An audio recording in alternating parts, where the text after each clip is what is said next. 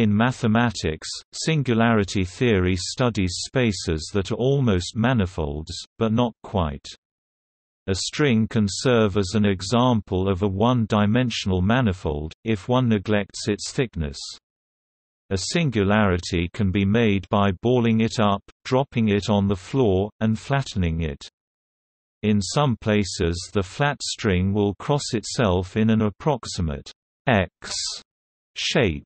The points on the floor where it does this are one kind of singularity, the double point, one bit of the floor corresponds to more than one bit of string.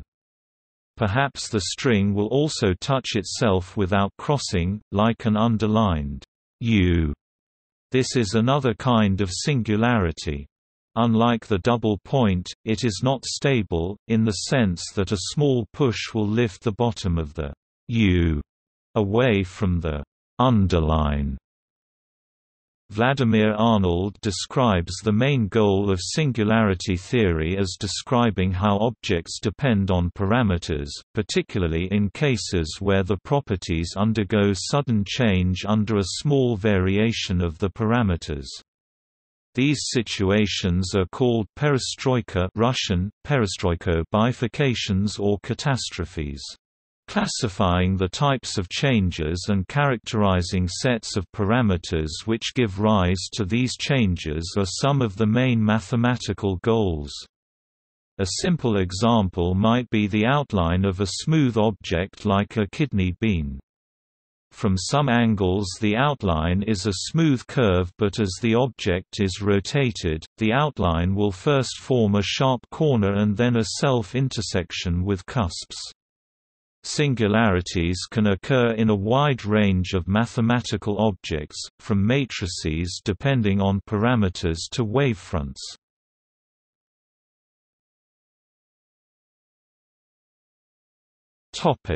How singularities may arise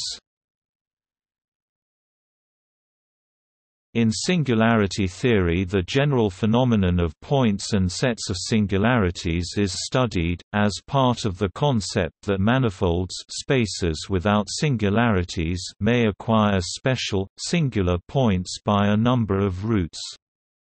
Projection is one way, very obvious in visual terms when three-dimensional objects are projected into two dimensions for example in one of our eyes, in looking at classical statuary the folds of drapery are amongst the most obvious features.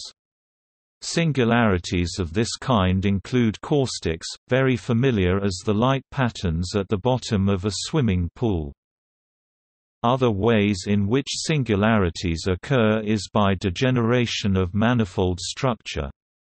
The presence of symmetry can be good cause to consider orbifolds, which are manifolds that have acquired corners in a process of folding up, resembling the creasing of a table napkin.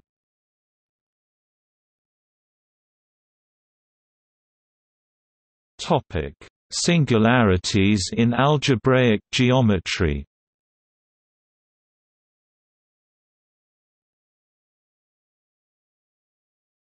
Topic: Algebraic curve singularities Historically, singularities were first noticed in the study of algebraic curves.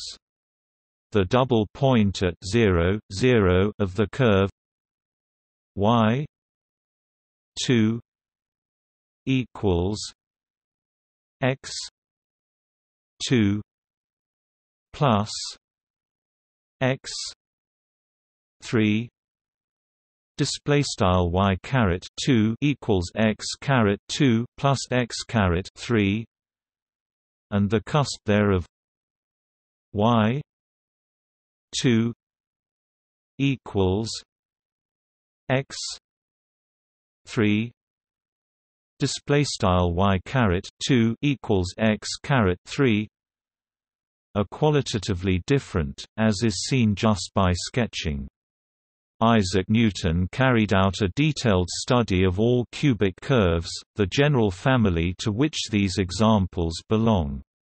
It was noticed in the formulation of Bezout's theorem that such singular points must be counted with multiplicity 2 for a double point, 3 for a cusp, in accounting for intersections of curves.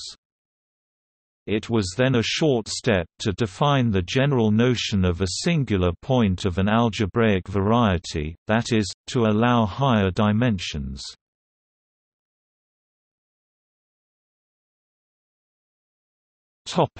The general position of singularities in algebraic geometry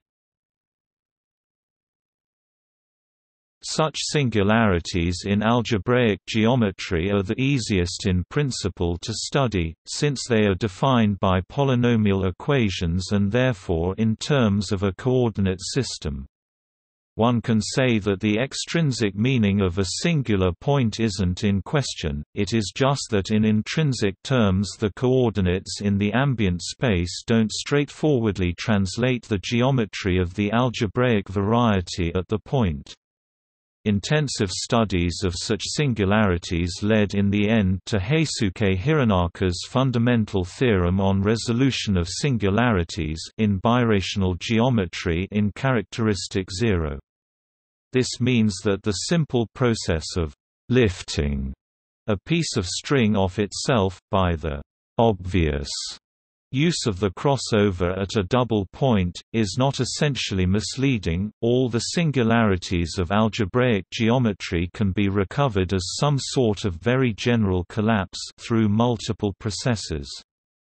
This result is often implicitly used to extend affine geometry to projective geometry. It is entirely typical for an affine variety to acquire singular points on the hyperplane at infinity, when its closure in projective space is taken. Resolution says that such singularities can be handled rather as a complicated sort of compactification, ending up with a compact manifold for the strong topology, rather than the Zariski topology, that is.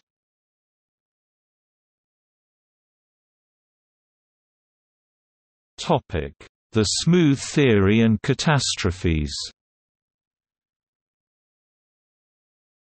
At about the same time as Hironaka's work, the catastrophe theory of René Thom was receiving a great deal of attention.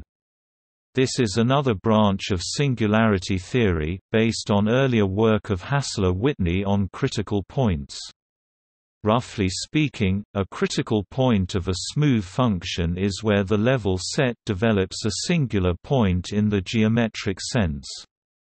This theory deals with differentiable functions in general, rather than just polynomials. To compensate, only the stable phenomena are considered. One can argue that in nature, anything destroyed by tiny changes is not going to be observed, the visible is the stable. Whitney had shown that in low numbers of variables the stable structure of critical points is very restricted, in local terms.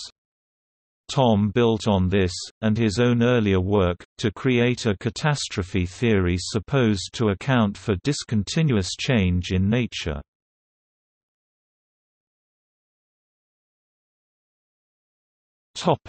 Arnold's view While Thom was an eminent mathematician, the subsequent fashionable nature of elementary catastrophe theory as propagated by Christopher Zeeman caused a reaction, in particular on the part of Vladimir Arnold. He may have been largely responsible for applying the term singularity theory to the area including the input from algebraic geometry, as well as that flowing from the work of Whitney, Thom and other authors.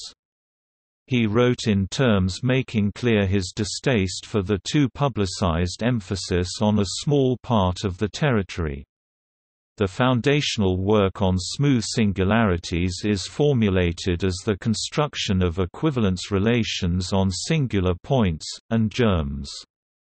Technically this involves group actions of Lie groups on spaces of jets. In less abstract terms Taylor series are examined up to change of variable, pinning down singularities with enough derivatives. Applications, according to Arnold, are to be seen in symplectic geometry, as the geometric form of classical mechanics.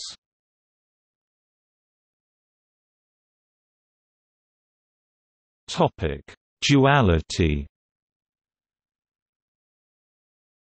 An important reason why singularities cause problems in mathematics is that, with a failure of manifold structure, the invocation of Poincare duality is also disallowed. A major advance was the introduction of intersection cohomology, which arose initially from attempts to restore duality by use of strata. Numerous connections and applications stemmed from the original idea, for example the concept of perverse sheaf in homological algebra.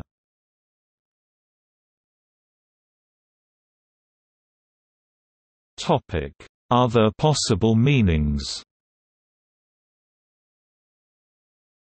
The theory mentioned above does not directly relate to the concept of mathematical singularity as a value at which a function is not defined. For that, see for example isolated singularity, essential singularity, removable singularity. The monodromy theory of differential equations, in the complex domain, around singularities, does however come into relation with the geometric theory. Roughly speaking, monodromy studies the way a covering map can degenerate, while singularity theory studies the way a manifold can degenerate, and these fields are linked.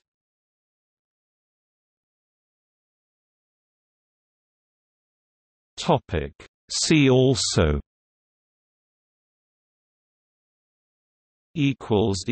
Notes